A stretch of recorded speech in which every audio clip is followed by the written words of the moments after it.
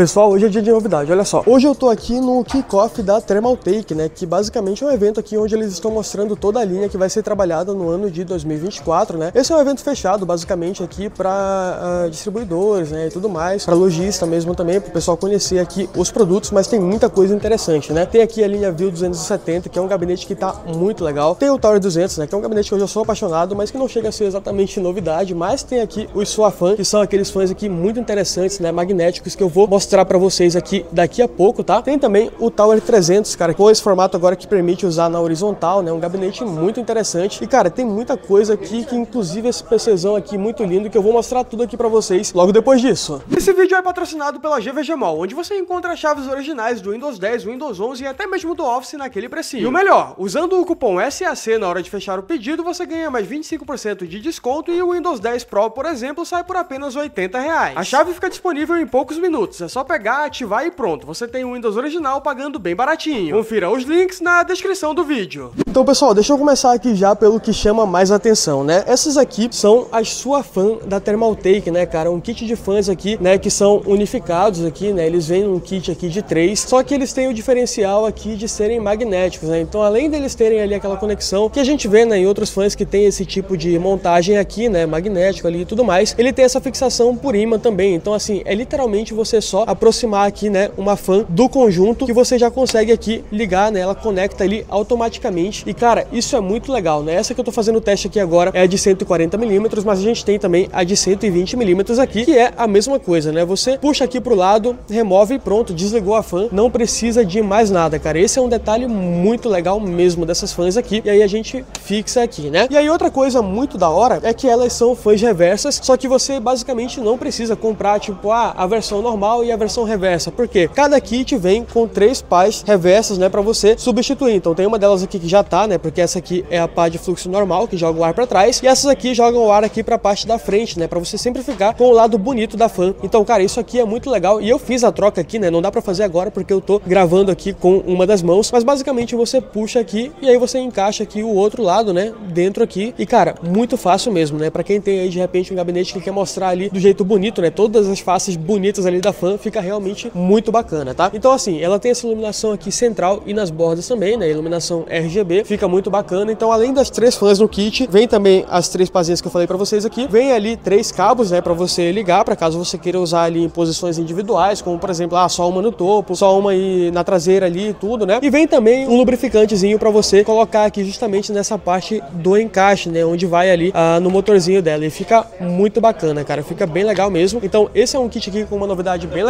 que a Thermaltake está trazendo aí agora, que eu, cara, usaria facilmente, tá? Porque é realmente muito fácil não precisar encaixar nada fisicamente, né? É só realmente magnético e fica muito bacana. E aí, fora isso, a gente tem aqui as fontes, né? A Thermaltake está com duas linhas de fontes que eles estão trazendo aqui agora, que essa aqui a gente tem a GFA3, né? Tem um modelo de 850 watts, né? Que nesse caso aqui é a única que está disponível aqui agora e ela já está bem aqui na minha frente, na verdade, né? Eu posso mostrar para vocês. Dá para ver aqui que é uma fonte full modular, né? Ela tem aqui o conector PCI Express Express 5.0, né? O 12VHPWR aqui, né? Que nesse caso aqui é de 450 watts para a fonte aqui de 850 watts Gold, né? E eles têm a linha aqui GF3, né? Qual que é a diferença? Essa aqui, a GF3, ela tem ali os principais uh, capacitores japoneses, né? E a linha GF3 aqui, ela tem 100% dos capacitores japoneses, né? Então ali ela tem realmente a, o objetivo de ser uma fonte mais top, né? E é essa que tá bem aqui, que ela tá com opções aqui de 850 watts até 1200 1.200 watts, né? Então tem uma bem aqui na minha frente agora, full modular também, e a diferença é que nesse modelo de 1.200 watts, o conector aqui do PC Express 5.0 é de 600 watts, né? Já tem 600 watts. E lembrando que as duas fontes aqui têm garantia de 10 anos, né, cara? Então isso aqui é um ponto muito interessante também. E aqui a gente tem soluções também de condução térmica, né? Para você colocar ali na placa de vídeo, processador e tudo. Então a gente tem aqui esse modelo TG50 e o TG30. Os dois têm uma, um desempenho ali um pouco mais próximo, né? Esse aqui é 4.5 watts por metro Kelvin. Essa aqui 8 watts uh, por metro Kelvin. Então as duas aqui bem interessantes. As duas vêm com 4 gramas, então dá aí algumas aplicações. E tem também a opção aqui de metal líquido, né, que é a TG60. Essa aqui já é um pouco mais bruta, né, 52 watts por metro Kelvin. Essa aqui é realmente, tipo, literalmente metal líquido, tá? Então eu ainda não sei por quanto vai chegar, mas é legal ter essas opções aqui. A que você usaria aí mais ou menos no dia a dia no seu PC. Essa aqui já estaria de bom tamanho, né, uma dessas duas. E essa aqui é se você quiser meio que chutar o balde, né? Então a gente tem essa parte aqui das fontes e soluções térmicas aqui, né, junto com as fãs. Aí a gente tem aqui, para quem não conhece ainda, o Tower 200, né? Esse gabinete, cara, eu sou apaixonado por ele. Ele é um gabinete mini ITX, tá? Então assim, por esse motivo, talvez eu não teria ele, porque é um pouco complicado montar uma configuração mini ITX, mas dá para ver que a gente tem aqui uma placa-mãe da ASUS, né, e tudo mais. Tá numa plataforma AMD aqui, se eu não me engano. É, tá numa plataforma AMD aqui. E aí ele tem aqui um water cooler de 240 aqui na lateral, olha só, né, que montaram aqui nele. Tem esse fã aqui embaixo, ele suporta também um fã de 140 ali em cima, né? A placa de vídeo ela fica nesse formato aqui assim na vertical, né? E aí a saída dos cabos sai aqui dentro, na verdade, né? Então sai aqui dentro e sai ali por trás que você passa por aqui se tiver alguma coisa ligada, né? E aí, cara, é um gabinete muito legal mesmo, bem prático de trabalhar com ele, apesar de ser um gabinete mini TX, porque ele não é exatamente pequeno, né? Ele só é, é ele ocupa uma área pequena, mas o, a altura dele é mais elevada. Mas é um gabinete que eu acho muito bonito e ele tem essa opção, né, de colocar uma telinha aqui que é vendida separadamente, mas que fica muito bonito e mostra algumas informações aqui, né? Mas por enquanto tá só desse jeito aqui com o logo da Thermaltake. E fora o Tower 200, a gente tem aqui o Tower 500, que, cara, olha só, dá pra ver aqui a diferença de tamanho, né? Esse aqui é um gabinete que eu já sabia que ele era grande, mas vendo ele pessoalmente agora pela primeira vez, dá pra ver que é uma coisa bem mais exagerada, né? E esse gabinete aqui, pra mim, se não for montado com um water cooler custom aqui, com um projeto bem legal, ele não, não vai ficar muito maneiro não, porque, cara, é muito grande mesmo, né? É bem enorme, tem um tamanho muito maior aqui em comparação com o Tower 200, só que esse aqui você já monta placas-mãe ATX, né, e tudo mais, realmente não tem a proposta de ser algo mais compacto para uma build mais compacta como o Tower 200, né? E agora, esse aqui eu acho que vai chamar a atenção de muita gente. Esses aqui são as versões, né, que chegaram aqui do View 270, né? Esse gabinete, inclusive, ele teve um sample na CES, se eu não me engano, mas eu acho que nem lá ele foi mostrado, né? Então ele está sendo mostrado primeiro aqui agora. E são gabinetes aqui mid tower, né, normais, não tem a proposta de dual chamber, só que ele tem, né, esse esquema aqui de aquário com um formato meio que minimalista, mas que muito elegante ao mesmo tempo, né? Eu pelo menos achei. E eu tô apaixonado nessa versão aqui, que é a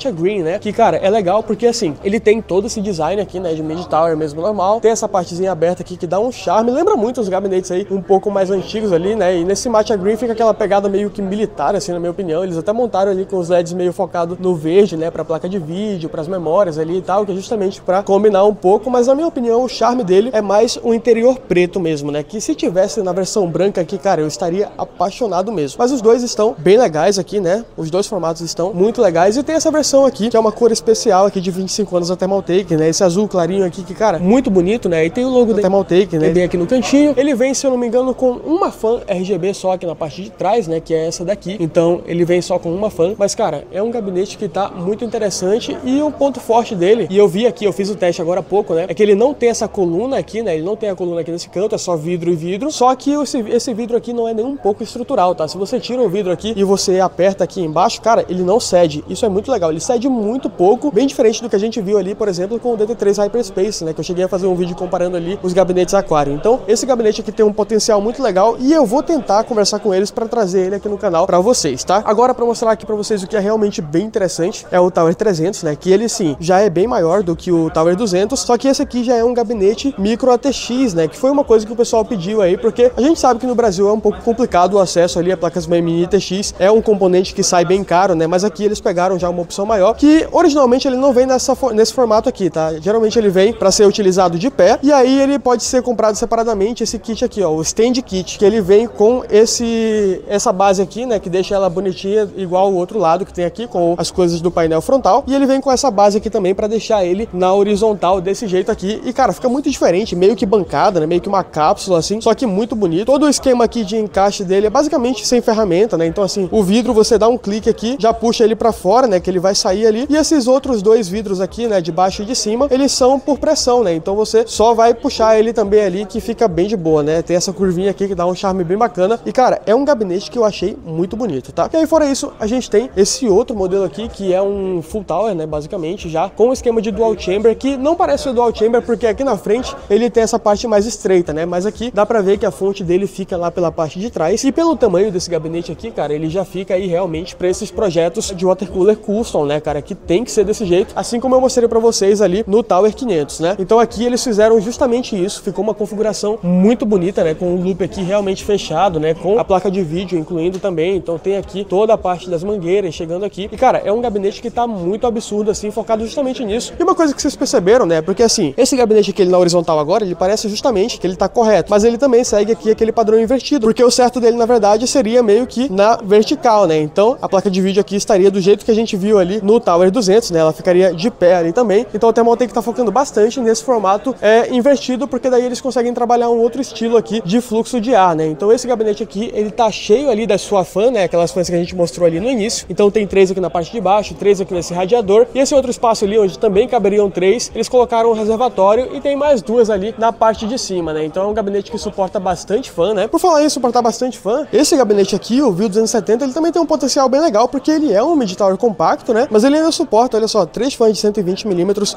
aqui na parte de baixo, são três fãs de 120mm na parte de cima também. E ele tem mais dois aqui nessa horizontal, né? E um aqui na parte de trás. Então são nove fãs, mesmo sendo um gabinete relativamente compacto. Então isso aqui tá bem bacana com esse charme aqui dos vidros, né? Aqui na frente. Mas beleza, vamos continuar agora. Aí desse lado a gente tem o S200TG, que é aquele kit que eu já mostrei para vocês no canal, né? Que ele vem o gabinete, uma fonte bronze de 650 watts e um kit com quatro fãs ARGB Light aqui da Thermaltake, né? Que justamente por vir esse kit completo, ele tem um preço que faz muito sentido, né? Em relação ao que seria um gabinete dessa categoria aqui, mais um kit de quatro fãs ARGB, né? Que você conecta ali pelo conector a 5 volts de 3 pinos e mais uma fonte bronze de 650 watts, né? Então, cara, esse é um kit aqui que tá muito interessante. Então, se você quiser conferir, tem o card aqui no canto direito superior no canal, tá? E tem esse outro modelo aqui que é o S100, que apesar da numeração inferior aqui na nomenclatura, ele é um pouco maior, tá? Ele tem aqui uma largura mais considerável, que inclusive foi um ponto aqui que o S200 pecou um pouquinho, porque apesar dele suportar aqui fãs de 140mm no topo, ele suporta um water cooler de até a 240, mas dependendo do tamanho do dissipador da sua placa-mãe, ele não tem largura suficiente para isso. Então, assim, ele não bate nas memórias, mas corre o risco de bater ali no dissipador do VRM da placa-mãe, né? Mas esse aqui já fica mais suave em relação a isso, só que ele tem uma proposta de ser aqui um gabinete mais fechado, né? Aqui a gente tem uma proposta de airflow e aqui a gente tem um gabinete que ele tem as entradas aqui mais nas laterais, só que ele tem essa praticidade aqui da porta que abre com fecho magnético aqui, né? Mas ele também vem com uma fonte aqui, né? Só que essa aqui já não é uma fonte bronze, né? Pelo que eu vi aqui, uma de 600 watts, e ele vem também aqui com um fan na parte de trás, que não é RGB, né? Então um gabinete aí para quem quer fazer uma configuração mais ao black, eu diria, né? Mas tá bem interessante. E aí a gente tem outro lançamento aqui, que é o Series, né? A gente tem aqui o Series 500 e o Series 300 também. Os dois gabinetes estão muito interessantes, né? O 500 ele é um pouco maior e essa, essa telinha aqui não é o diferencial dele, tá? É a mesma telinha que a gente viu ali no Tower 200, só que esse modelo aqui você pode colocar separadamente e os dois, olha só, dá pra ver que eles vêm com essa chapa aqui que você remove, né? Então o Series 300, o Series 300 aqui, ele tá com a, a chapa fechada e ele vem com a outra que se você quiser, você pega e coloca essa telinha aqui como foi feito nesse modelo, né? Mas esses dois gabinetes aqui estão muito interessantes e eu gosto justamente, cara, porque eles trazem o visual que foge um pouco do que as marcas estão focando atualmente, né? Hoje tá todo mundo focando ali na parte de aquário, basicamente, tá tudo ali o mais quadrado possível, né? Sem ah, muito detalhe na frente e tudo mais. E o que eu gosto, que eu tô achando bonito desse gabinete, porque eu já vi outros criadores de conteúdo trazerem eles também, né? É que eles trazem essa pegada aqui, cara, que parece que esses aqui são os gabinetes top de alguns anos atrás, entendeu? Então é legal ver essa diferença aqui com um desenho diferente na parte ah, da frente aqui, né? Os detalhes aqui da parte do fluxo ar e tudo, todos esses, esses recortes aqui, né? Para fazer um formato aqui mais robusto e tudo assim, que de certa forma ainda fica muito elegante, né? Então esse é um detalhe bem bacana aqui que eu gostei dessa linha séries e eu tô bem curioso para testar e mostrar para vocês aqui também, né? Inclusive esse modelo aqui ele traz um bracket patenteado aqui na parte de trás, né? Da Thermaltake, que você faz a rotatividade aqui dos slots PCI Express na parte de trás para poder usar a placa de vídeo na vertical, né? Inclusive ele já vem com um suportezinho aqui para você fixar a placa de vídeo, né? Só que ele não vem com o cabo riser, tá? Esse aqui é um detalhe muito bacana, mas pelo menos você só precisa comprar o cabo riser e não o suporte inteiro, porque cara, eu sei que é caro isso. Eu comprei o pro meu H6 Flow ali da NZXT, eu gastei 600 reais, cara, no suporte vertical. Então quando vem alguma coisa que facilita assim, já é muito interessante, né? Ele vem, se eu não me engano, aqui com quatro fãs RGB também. E aí, por último, né, dos produtos que a gente mostrou aqui, a gente tem esses dois modelos aqui que já são um pouco, um pouco não, são muito mais específicos, tá? Esses aqui são gabinetes que eles chamam de CTE, né, que eles têm um, uma proposta aqui de um fluxo de ar centralizado, que basicamente, olha só quanto espaço de refrigeração tem aqui. Você pode encher de fã aqui embaixo, você pode encher de fã aqui na parte de trás. Esse aqui também tem o formato invertido, né? O painel ali de slot PCI Express fica ali na parte de cima. Enche de fã aqui na parte da frente também, que se eu não me engano vão até três fãs de 140 milímetros na frente. Mas, cara, de qualquer forma, qual é o objetivo? É colocar fãs jogando ar frio pela parte da frente, pela parte de trás, pela parte de baixo, né? Entrando ar frio aqui de todos os lados possíveis e só tirando pela parte de cima, né? Tanto esse quanto esse gabinete estão com essa proposta, né? É a mesma coisa aqui. E, cara, são gabinetes gigantescos, sério. Olha só, olha o tamanho disso aqui e olha o tamanho ali do Series 300. Dá pra ver que tem uma diferença aí bem absurda, né? Mas são dois gabinetes aqui que, como eu falei pra vocês, são bem mais específicos, né? Tem uma proposta aqui de ser usada mais para workstation e tudo mais, ou para quem realmente quiser um gabinete enorme para fazer algo, né, numa escala ainda maior do que a gente tem nesse outro modelo aqui. Mas basicamente são essas aqui as novidades, né? Esses os produtos que a Thermaltake está trazendo para trabalhar agora no ano de 2024. E cara, deixa eu falar para vocês, tá bem promissor, viu? Tem alguns produtos aqui realmente muito legais. A linha ali Tower 200, Tower 300, né? Os gabinetes estão com uma construção muito bacana e uma praticidade muito legal também para gabinetes que, no caso do Tower 200 ali é um mini TX, que não é aquele que você sofre para montar, né? Ele tem um espaço interessante para você manusear ali as coisas. E o View 270 também, cara, tá muito bonito e eu acho que vai chamar muita atenção e eu vou tentar trazer ele no canal, tá? E fora isso, as fãs ali, sua fã, cara, com essa praticidade, né, do, do de serem magnéticas ali e tudo, cara, facilita demais, sério, porque além de você ter ali só um cabo para cada grupo de fãs, você ainda tem a parte de poder tirar ali simplesmente, né, só puxando uma e, cara, é muito fácil, fora a facilidade também de usar ali a pá reversa, né? Então assim, você pega um kit e se você precisar ali na parte de, de entrada de ar no gabinete, deixar o lado bonito para frente, vai funcionar do mesmo jeito, dependendo de onde estiver, porque é só trocar a pazinha ali e funciona muito bem, né? Então, basicamente é isso. Eu espero que vocês tenham gostado aqui desse vídeo, né, trazendo novidade para vocês. Mas fala aí também o que que qual desses produtos aqui vocês gostariam de ver primeiro no canal, que eu tento desenrolar aqui com eles. Mas no geral, é isso. Eu espero que esse vídeo tenha sido útil para vocês, que vocês tenham gostado, e eu espero ver vocês no próximo vídeo. Até mais.